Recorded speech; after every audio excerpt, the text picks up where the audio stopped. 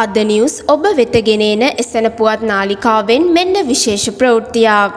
ජාත්‍යන්තර මූල්‍ය අරමුදලේ නියෝජිතයන් කිහිප දෙනෙක් අද පෙරවරුවේ ජනාධිපති කාර්යාලයේදී ජනාධිපති ගෝටාබේ රාජපක්ෂ මහතා හම්ව තිබේ. ජාත්‍යන්තර මූල්‍ය අරමුදලේ ආසියානු පැසිෆික් දෙපාර්තමේන්තුවේ අධ්‍යක්ෂකවරයා නියෝජ්‍ය අධ්‍යක්ෂකවරයා සහ ශ්‍රී ලංකාවේ සහ මාලදිවයිනේ ජාත්‍යන්තර මූල්‍ය අරමුදලේ නේවාසික නියෝජිත ආචාර්යවරයා යන මෙම මහත්ම මහත්මීන් ඒ අතර විය. ජනාධිපති ලේකම් ගාමිණී සෙනරත් ජනාධිපති ප්‍රධාන උපදේශක ලලිත් වීරතුංග අතිරේක ලේකම් චන්දිමා වික්‍රමසිංහ යන මහත්ම මහත්මීන්ද ඒ අවස්ථාවට එක් වූහ.